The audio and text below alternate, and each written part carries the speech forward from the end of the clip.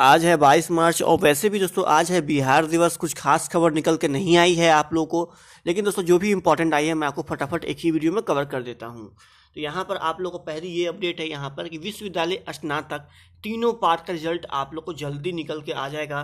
B N मंडल विश्वविद्यालय में विलंब से चल रहे सत्रों को लेते हुए ये फैसला लिया गया है कि आप लोग को जल्द ही बी एन में बी एन मंडल यूनिवर्सिटी में स्नातक तीनों पार्ट का रिज़ल्ट एक साथ जल्द ही जारी कर दिया जाएगा।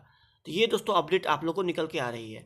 वहीं मैं बता दूँ कि देखिएगा दोस्तों, यहाँ पर बिहार में अभी भी अभी खुले रहेंगे स्कूल और सीएम ने इसके लिए सख्त घोषणा की है कि बिहार में कुछ भी खास ऐसा है नहीं जिसके लिए मैं स्कूल नहीं खोलूँ। तीन घंटे चली बैठक में ये फैसला लिया गया है। चौबीस घंटे मिल जाएगा आरटीपीएस और जाँच रिपोर्ट। और कहा गया है कि आप लोगों को कि जल्द ही आपको बिहार में स्कूल खोल दिया जाएगा। तो वहीं बता दूँ, यहाँ पर पाटलिपुत्र यूनिवर्सिटी का भी खबर निकल के आई है कि स्नातक कला एवं विज्ञान सत्र अठारह से इक्कीस के छात्राओं के सूचित किया जाता है कि स्नातक खंड थ्री में नामांकन दिनांक तेईस तीन दो से चौबीस चार दो तक जे डी वुमेंस कॉलेज के पोर्टल इतना पर ऑनलाइन आपके होंगे नामांकन होंगे। ऑनलाइन नामांकन होने के बाद नीचे के दस्तावेजों पर आप क्लिक कर वो अपलोड कर सकते हैं। जिसमें खंड थ्री खंड टू खंड वन खंड टू टू सबका किसी का प्रवेश पत्र, किसी का अंक पत्र तो ये आप फ़ोटो ले लेना, नहीं तो मैं सेंड कर दूँगा। आप लोग देख लेना। उसी तरह से यहाँ पे ए कॉलेज में भी देखो, यहाँ पर कहा गया है कि शिक्षक, शिक्षकोत्तर, कर्मचारी एवं छात्र छात्राओं को सूचित किया जाता है कि दिनांक बाईस तीन दो मतलब कि आज महाविद्यालय खुला रहेगा। इस अवकाश का संबंध होली अवकाश के कर लिया जाएगा। ज्ञातव्य हो कि 22 मार्च को बिहार दिवस के अवसर पर महाविद्यालय में एक कार्यक्रम भी आयोजित है। इसीलिए यहाँ पर जो है एन कॉलेज में ऐसा फैसला लिया गया है।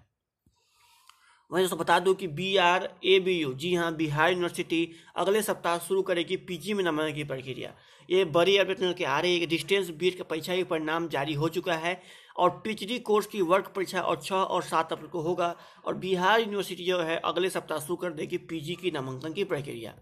वहीं बता दो, सत्रह अप्रैल को होगी। जी हाँ सत्रह अप्रैल को होगी।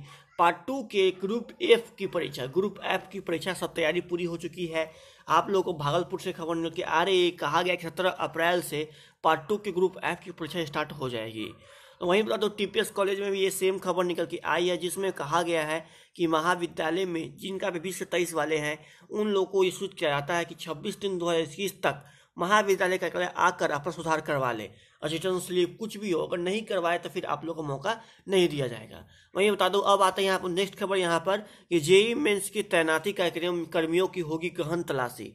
वहीं सीबीएसई बीमा स्टूडेंट की परीक्षा में मिलेगी ब्रेक ये भी एक अपडेट है दोस्तों कि सीबीएसई जो बीमा स्टूडेंट है, उन लोग को ब्रेक आप लोग को दे दी जाएगी कुछ समय के लिए।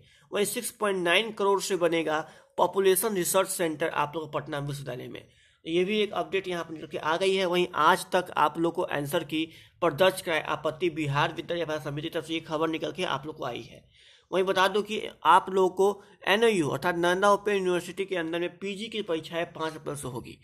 जी हाँ पीजी की जो परीक्षा है वो पाँच अप्रैल से होगी। ये अपडेट आपको निकल के आई है यहाँ पर। तो वहीं फ्रेंड्स कल देर शाम आप लोगों को बिहार बीएड को लेकर टेंटिव यहाँ पर शेड्यूल डेट डेट आ गई है। ये फाइनल तो नहीं है टेंटिव डेट मतलब होता है कि वो चेंज होते रहना। ठीक है तो ये फाइनल तो नहीं है मैं इंस्टाग्राम पर इसको शेयर भी किया था, जिसमें यही कहा जा रहा है कि 9 अप्रैल से आप लोग को बिहार बीएड का फॉर्म जो है आ जाएगा और आप लोगों को 30 अप्रैल को इसका इंट्रेंस टेस्ट होगा और उसकी लास्ट डेट है फॉर्म भरने की, आप लोग को आठ पाँच दो हज़ार इक्कीस। नौ अप्रैल को आएगी, आठ मई तक फॉर्म भराएगी और आप लोग को तीस मई को एग्ज़ाम दी जाएगी और आपको फाइनली जो है एक अक्टूबर से आप लोगों क्लास स्टार्ट की जाएगी। जिसके बारे में कल देर शाम मैंने अपने एजुकेशनल आर के पॉइंट जो है बिहार बेस्ट वहाँ पर मैंने वीडियो दोस्तों फ्रेंड्स ये थी आज की पूरी खबर। मैंने अपने को पहले भी कहा कि आज थी 22 मार्च, बिहार दिवस। कुछ पेपर में कुछ खास खबर थी नहीं। जो भी थी इंपॉर्टेंट मैं आप लोग को एक ही वीडियो में कवर कर दिया। आशा करता हूँ वीडियो दोस्तों, आप लोगों को पसंद दोस्तों आया होगा। अगर वीडियो पसंद आया तो वीडियो को लाइक कीजिए, दोस्तों साथ में शेयर कीजिए और इसको नीचे जो भी मन में हो कॉमेंट कर दीजिए। मिलता हूँ मैं फिर नेक्स्ट वीडियो में, तब तक धन्यवाद। फिर मैं कल मिलता हूँ। जय हिंद, जय भारत।